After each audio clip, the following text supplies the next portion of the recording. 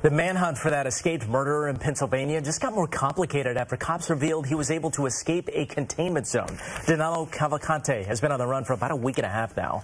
Authorities say Cavalcante was able to slip out of a nearly 400 officer perimeter and attempted to contact a couple of former coworkers. In fact, these new images from the doorbell camera of one of those coworkers revealing the convicted killer has now changed his appearance. He's cleanly shaved.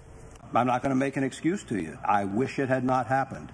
Unfortunately, there are a lot of circumstances, there are a lot of issues uh, associated with that property. Police now investigating the possibility that Cavalcante may be getting help. The 34-year-old convicted of killing his ex-girlfriend in front of her two young children. Mayor Adams making a couple of